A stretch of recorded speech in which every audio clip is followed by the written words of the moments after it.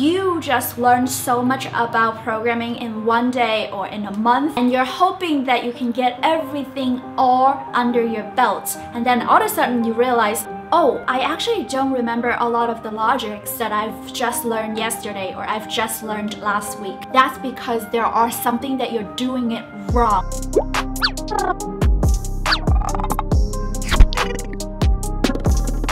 Hello everybody, welcome back to my channel. My name is Vicky Mei and I am a software engineer living in New York City and in this channel you're gonna learn so much about how to learn to code, web development, and all things related to tech. So mistake number one is that you are focusing too much about learning the syntax and memorizing the syntax for a specific language.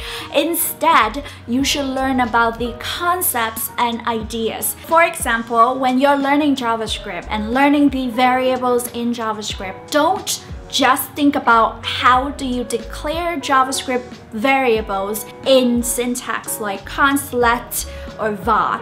Think about why there are different ways to declare variables in JavaScript and also what are the differences between these different ways to declare variables. Mistake number two is following tutorials after tutorials instead of practice with project. A lot of people actually keep watching tutorials after another after another but then at the end of the day they realize that they didn't really learn much. Instead of watching one tutorial after another is to set some time to watch only one tutorial and stop and really try to rebuild the project or think about a project ideas that you can build the project with what you just learned. And one of the reasons why you have to build projects to help you to learn is that once you start building projects it creates creates this like muscle memory in programming and learning to program to like actually remember things. Let me give you an example. If you are just moving to a new house and you got a new address, the chances of you being able to remember the address that you just moved to the new place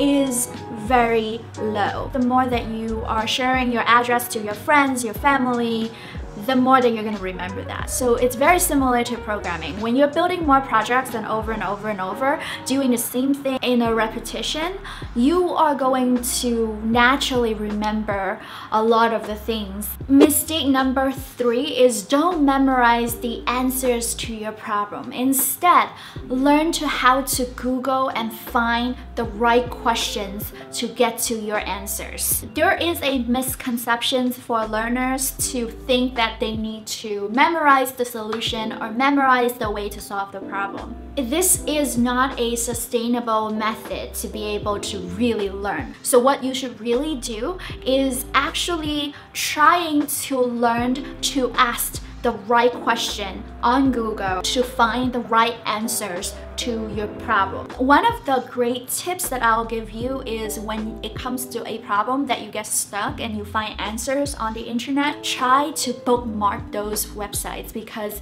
um, the more that you getting back to the same problem and you're reading through more documentations, they're gonna help you, the more that you're gonna collect all these informations and actually being able to grasp that knowledge. Hey yo, if you're getting values from this video, make sure to give me a thumbs up, share this video with someone else. Mistake number four is just to learn once and forget about it. So one of the things that I really, really highly recommend is to learn every day, to practice every day. Something that I preach to you is consistency is the key. Learning programming, it's like learning a foreign language. You need to use it every day. When it comes to coming up with a study plan, what I do recommend is looking into your daily routine and see if there's a way to incorporate studying into your daily routine so it becomes a consistent